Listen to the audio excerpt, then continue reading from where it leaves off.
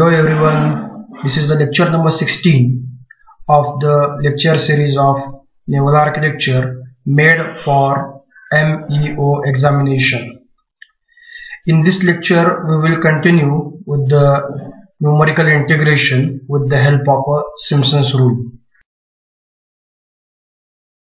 In the earlier lecture, we have discussed how to do the calculation for finding the moment of inertia, centroid and area of the water plane above the transverse axis. In this lecture, specifically we are going to discuss about uh, the calculation of moment of inertia, centroid of the water plane about the longitudinal axis we will call as a center line of the ship. So I am looking the ship from the top view and this is the one of the water plane area. Let's try to understand the axis system. So you can see this is the the x-axis of the ship and this is the y-axis of the ship. So this y-axis of the ship we will call as a transverse axis and we have done the calculation in earlier classes and the x-axis we will call as a longitudinal axis also this is the center line of the ship about which about this line the ship is symmetric. About this line ship is a symmetric. Now what we are going to do now i will take a, one of the a small section of this water plane and i am going to draw the diagram here. Like this. So i will let's call uh, with some name A, B, C, D. Again, this is the uh, longitudinal axis or you can call it as a center line. So what I will do now, as we have done the calculation for the transverse axis, same thing we are going to do here but with a little bit small changes. So I am taking now uh, a, a uh, one a strip the width of the strip is a dx and the height of this strip is a y. So what I am going to do now I will calculate first the area of the strip. So area of the strip area of the strip is y into dx as the strip is very small and it's considered as a rectangle. So if I ask what is the area of full curve a b c d? It will be summation of y dx. Summation of y dx. Then I want to take the movement I want to take the first movement of area about BC about BC that is the center line of the ship. So when you are going to take the first moment of a area you have to find out the area of the strip that is y dx into the perpendicular distance from the BC. So what is the perpendicular distance here? Perpendicular distance means from the BC to the centroid of the this strip so the centroid of the strip will be at y by 2. Why it is at y by 2? Because the height of the strip is y. As it is a rectangle, the centroid will be at half of the height that is y by 2 from the BC. So if I take the first movement of this strip from the BC or from the center line, it will be y dx into y by 2 this is the first movement of the strip. If I ask find out the the first moment of the area for the whole area it will be again you can write like this summation of y square by 2 into dx. y square by 2 into dx. This is the first moment of a area of a whole uh, abcd curve now if I ask find out the second moment of area. Find out the second moment of area. So how to find the second moment of area? The second moment of area sm also called as a moment of inertia about bc means from the center line it will be it will be moment of inertia of the strip about its own neutral axis. This is the neutral axis of the strip that is passing through the centroid of the strip. So that is equal to INA plus area of the strip into the perpendicular distance between the neutral axis and the, the longitudinal axis. That is in this case I will call right now Y so this is the a formula of a parallel axis theorem this is a formula called as a parallel axis theorem. So if you want to find out the moment of inertia of this strip about the BC, it will be, you can call IBC is equal to INA plus AY square. Y is the distance between the neutral axis and the BC. So in this case that Y is a Y by 2. So let me write that whole thing here so IBC is equal to what is the moment of inertia of this strip as it is a rectangle. So moment of inertia of this strip will be dx y cube by 12 plus area of the strip is y dx and uh, y in this case the distance between the neutral axis and the BC is a y by 2 bracket square. If you solve whole thing it will come y cube by 3 dx y cube by 3 dx. So if I ask the moment of inertia of the whole area ABCD about the BC you can write like this summation of y cube by 3 dx. So like this you can calculate the area of the full uh, ABCD first movement as well as a second movement. Okay let's summarize the uh, whole thing whatever the things we have seen just now. So i am writing as a note here. So this is the area a b c d. And we have a strip here. The height of the strip is uh, y width of the strip is dx. The the distance of the uh, neutral axis from the bc is a y by 2 so total area of the whole ABCD will be summation of y dx first moment about the BC that is about the central line. Also you can call as about the longitudinal axis.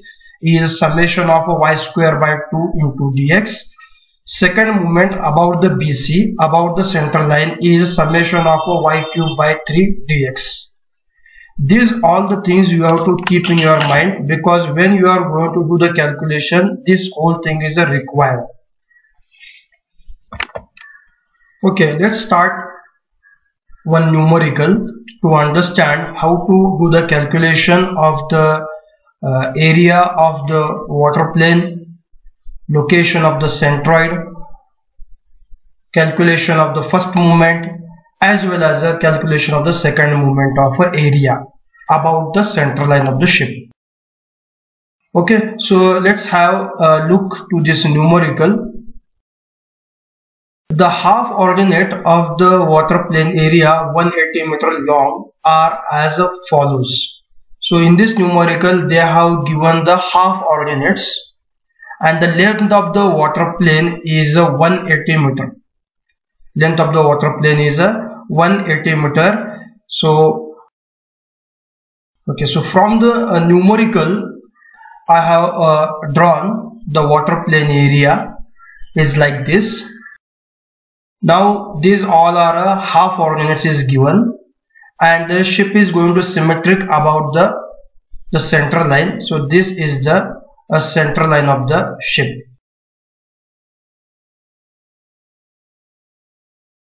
the ship is symmetric about the central line. So they have given the half ordinates so sections which is given here starting from the half perpendicular and ending with the forward perpendicular. Okay? So you can see from the half perpendicular to the section number 1 half perpendicular to the section number 1 you have a three ordinates here. You have a three ordinates here. Half perpendicular let's call this is a section number 0 then section half and the section 1 the spacing between these three consecutive ordinate is a half is a half. So I will call that spacing as h by 2 h is the full spacing. So in this case in the region 1 from the half perpendicular to the section number 1 the spacing is a h by 2 as it is a half spacing. From the section 1 to the section number 9 you can see the spacing between the each consecutive ordinate is a full 1 to 2 2 to 3 3 to 4 it is a full spacing. I can call that spacing as a h again from the 9 to forward perpendicular if you see this is the third region where you will find the spacing between the each consecutive ordinate again it is h by 2 as h is the full spacing okay so like this there are three regions here and the spacing between the each consecutive ordinate we have found from the question.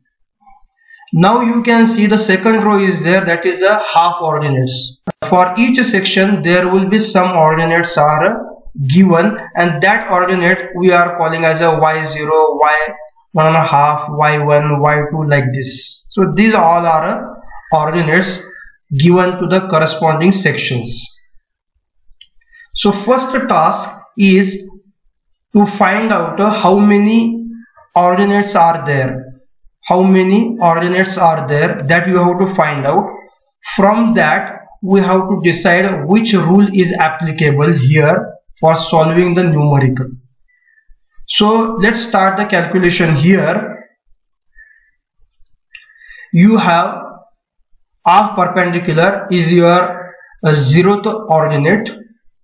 Then half section is there that is the second ordinate. Third four five six seven eight nine ten eleven twelve thirteen. So we have a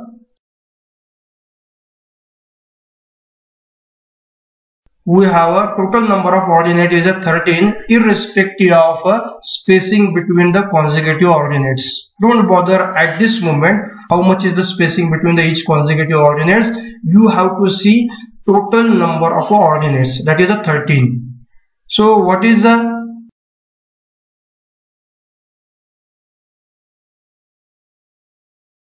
number of intervals will be 13 minus 1 it will be 12 13 minus 1 it will be 12 so now 12 is completely divisible by 3 as well as it is completely divisible by 2 it means that you can use any of the rule from the Simpsons.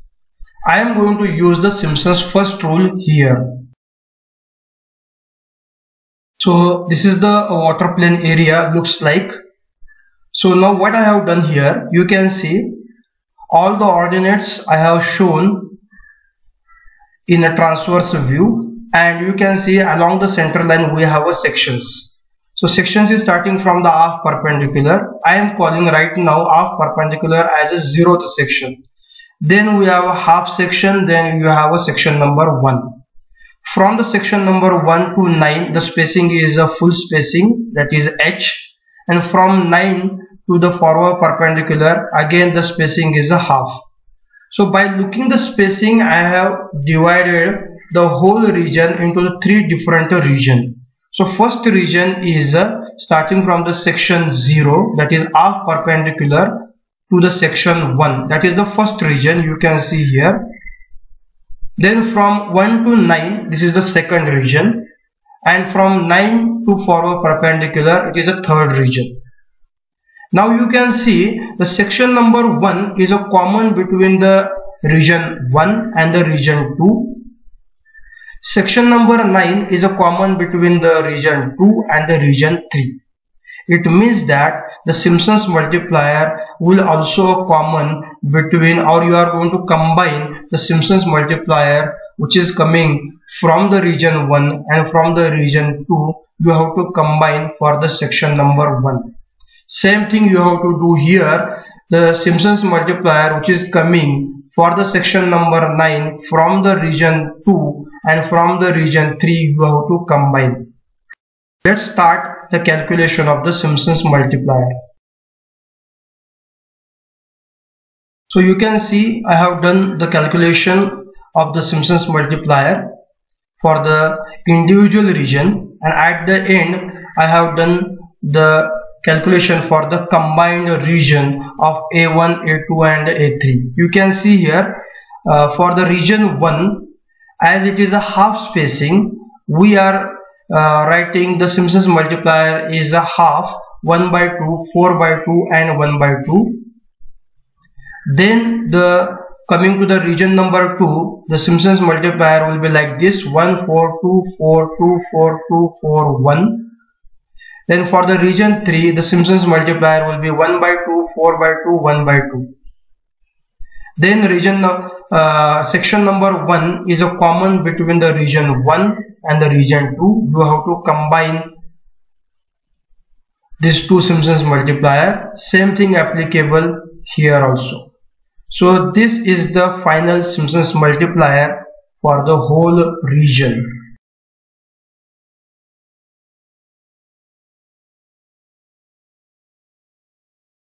So what we have done, we have done the calculation of the Simpson's multiplier.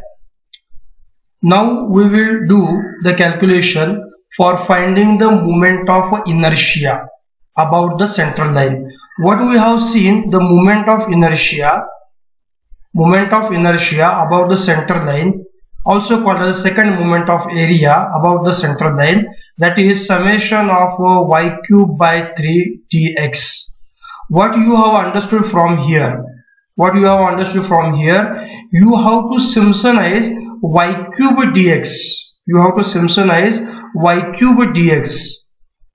Then whatever the answer is coming you have to divide by 3 okay? So what is the final formula for the uh, second moment of area?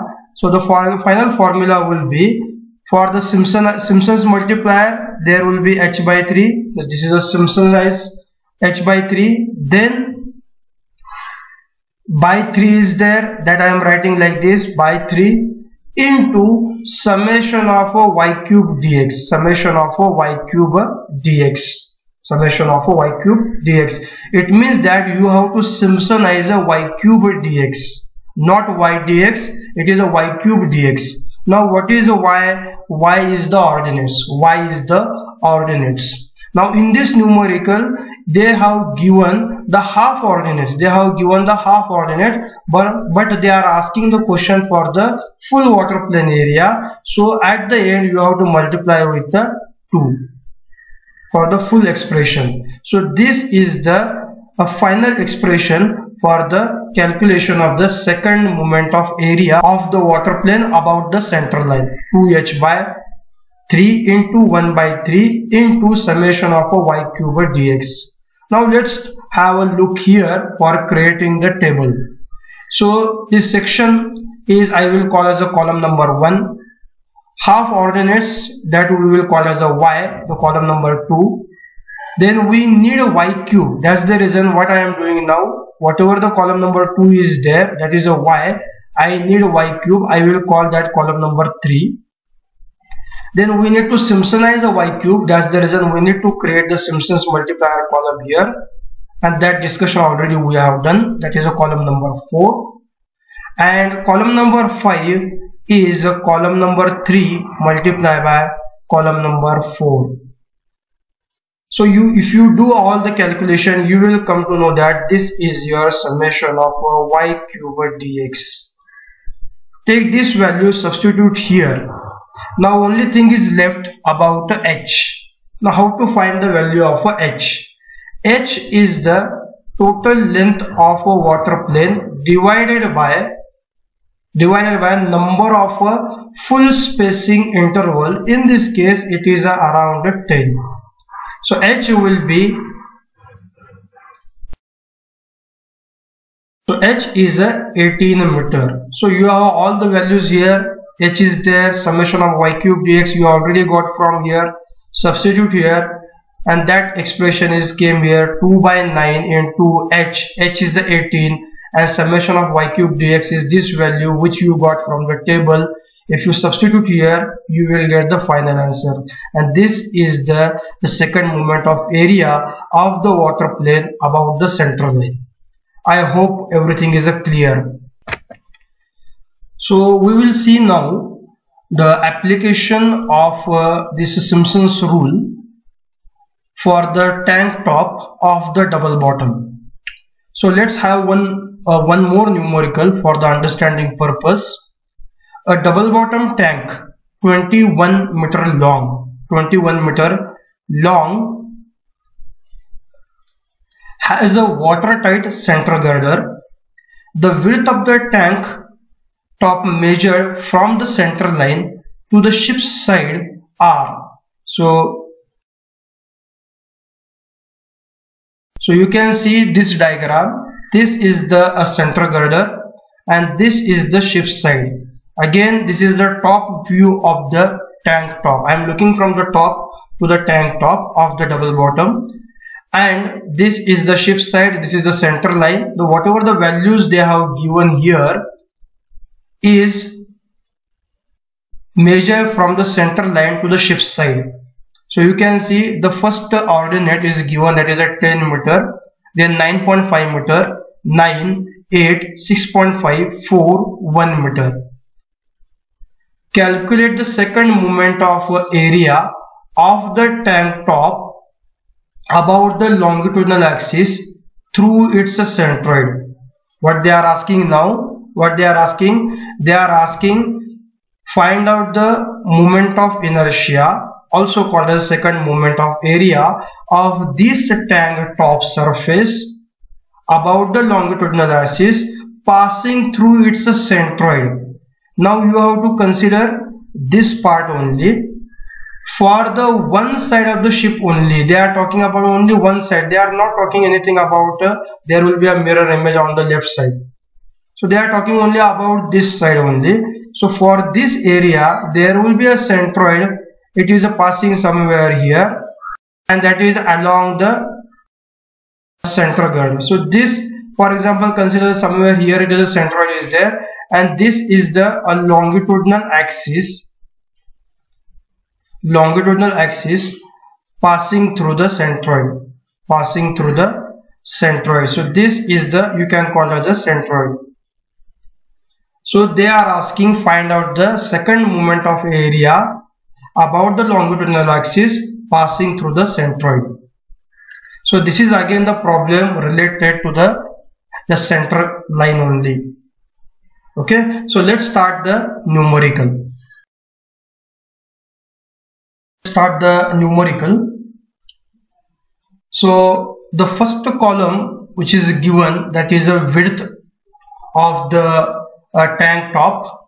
That width I will call as a Y.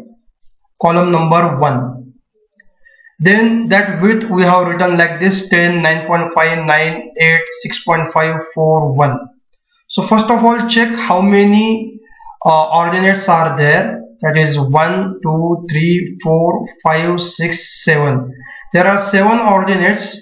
7 minus 1 it will be 6 so the 6 is a number of intervals is a 6 so you can use Simpson's first rule as well as the second rule because the number of intervals is completely divisible by 2 as well as a 3 so in this case I am going to use the Simpson's multiplier uh, with the help of a Simpson first rule. That is 1 4 2 4 2 4 1 as here there is no nothing is mentioned about uh, whether it is a half spacing or the full spacing. We are going to consider as a full spacing. So Simpson's multiplier for the full region will be 1 4 2 4 2 4 1 so first uh, the column number this is the column number 2 column number 3 is column number 3 is product of area. So that is a y into dx. So for that purpose you can column number 3 you will get uh, column number 1 multiplied by column number 2 so if you do the column number 1 multiplied by column number 2 you will get these all the values. At the end you will do the algebraic summation and that algebraic summation is a summation of a y dx. Summation of a y dx. So what is the formula to calculate the area?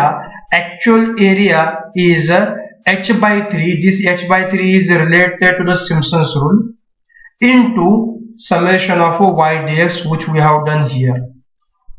h by 3 into summation of y dx. We will see how much will be the h let's finish all the things then we will discuss about the h. H is the common interval or the spacing between the each consecutive ordinates. We will see that. Then we will move for the the first movement for the first movement so what is the uh, formula for the calculation of the first movement that also we have already derived. First movement is summation of a y square by 2 into dx it means that we have to Simpsonize y square. We have to Simpsonize y square. It means that we need to create one more column that is a y square column ordinate square. So we have a y here. We have to create one more column that is a column number 4 that is a y square. So like uh, 10 square is 100 9.5 square 90.2.25 like this you have to create a y square column then we have to Simpsonize y square. That's the reason we are taking again Simpson's multiplier 1424241 that is a column number 5 so column number 6 that is a, the multiplication of the column number 4 and column number 5 why we are doing this? This is a we are Simpsonizing the y square.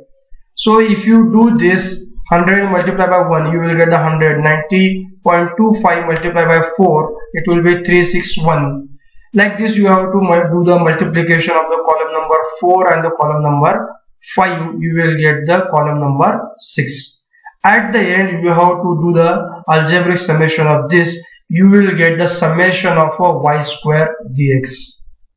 Now the summation of y square dx is your first a function of a first moment. This is a function of the first moment. If you want actual first moment, you have to Simpsonize it. Again, it will be h by 3 into summation of a y square dx. So you have to substitute this value here. You will get multiply by h by 3. You will get the actual first moment. Now coming to the actual second moment, the formula for the actual second moment that is h by 3 into summation of y cubed dx. It means that you have to find out the y cubed dx summation of y cubed dx. For that purpose we need to create one more column that is for a y cube that is for the y cube that is again the ordinate cube. So like this you have to create one more column that is a column number 7 that is a y cube so you have to Simpsonize a y cube. For that purpose we have to uh, uh, create one more column that is Simpson's multiplier. I will call column number 8 column number 8 now to get y cube dx we have to create one more column that is column number 9 that is column number 7 into column number 8 like this you have to create one more column here and do the algebraic summation of that that is summation of y cube dx. Take that value substitute here multiply by h by 3 why? Because we have to Simpsonize it h by 3 you will get the actual second movement so when you are doing the calculation for the actual area actual first movement and actual second movement as well as the centroid we need to use these formulas. And the formula is, is as follows the actual area is h by 3 into summation of y dx. And that summation of y dx we have done the calculation over here. That value you have to substitute here. The actual first moment calculation will be h by 3 into 1 by 2 why this 1 by 2 is coming? Because in the formula when which we have derived that is the function first moment is a y square by 2 into dx.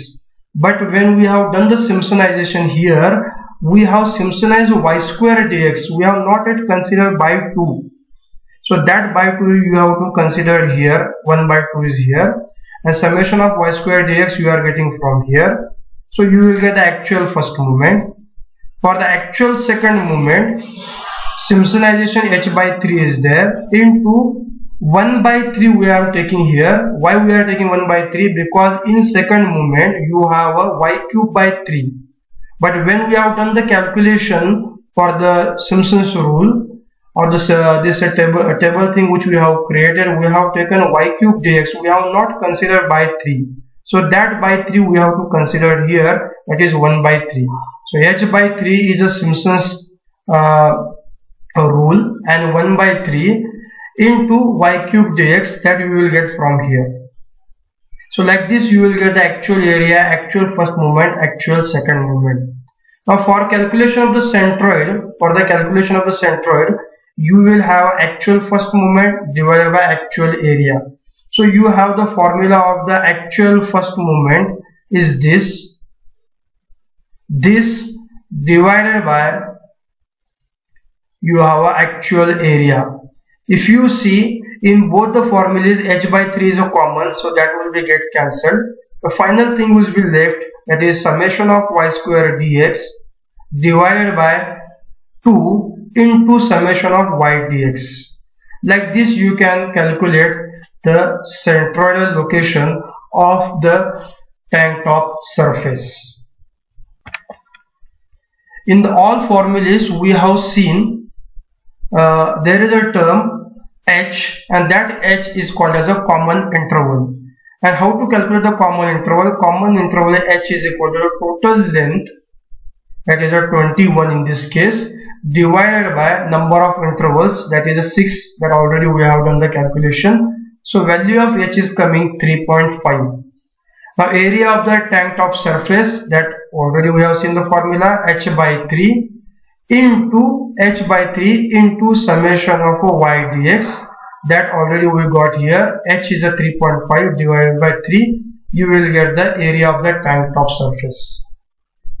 Now calculation of the centroid from the central line. We have got the answer for the centroid is like this. Summation of y square dx divided by 2 into summation of y dx. This y square dx we have done the calculation y dx divided by 2 you will get the location of the centroid from the central line. What is the meaning of this? If you have seen that area it was look like this so for the centroidal location somewhere here and this is the line passing through the centroid this is the central girder and this distance that we got now 4.018 meter so this is the location of the center now second moment of area about the central line the formula was like this h by 3 into 1 by 9 into summation of uh, y cube dx. So y cube dx already we got that is 8741.8 h by 3 h by 3 into 1 by 3 that is 3 multiplied by 3 it is coming 9 here so it is h by 9 into summation of y cube dx. You got the values this much. Now from the table whatever the moment of inertia or the second moment of area which we got that is about the center line. But we need the moment of inertia about the about the line passing through the centroid this line so we need to use the parallel axis theorem. So parallel axis theorem will be like this. I centroid is equal to i center line which we got minus uh, a x square. That is this gap. So the calculation which we have done here that uh, the second moment of area about the center line. Second moment of area about the center line means this one. That is your you can call as a moment of inertia about the center line. But we need the moment of inertia about the centroid or the line passing through the centroid. So this is that line. So these both the lines are parallel to each other. So we can use the parallel axis theorem. So parallel axis theorem will be like this. I centroid is equal to i center line minus ax square. A is the area. A is the area of this plane. X is the distance between these two parallel lines. That is 4.018 i center line we have got here.